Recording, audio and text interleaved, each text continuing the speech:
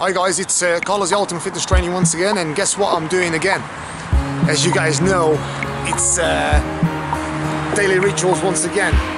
I'm doing my power walk after a good strength and conditioning session and as you guys know I do this every single day so today I kind of like varied a little bit I've uh, just done some uh, power power power power sprints 10 times 20 meters.